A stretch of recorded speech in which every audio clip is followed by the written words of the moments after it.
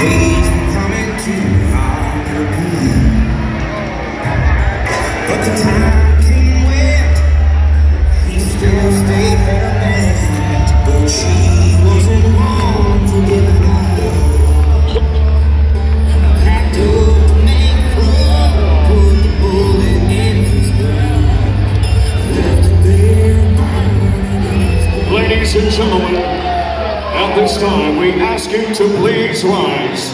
And gentlemen, remove your hats as we honor the nation of Canada and the United States of America with the performance of our national anthem. Singing the national anthem.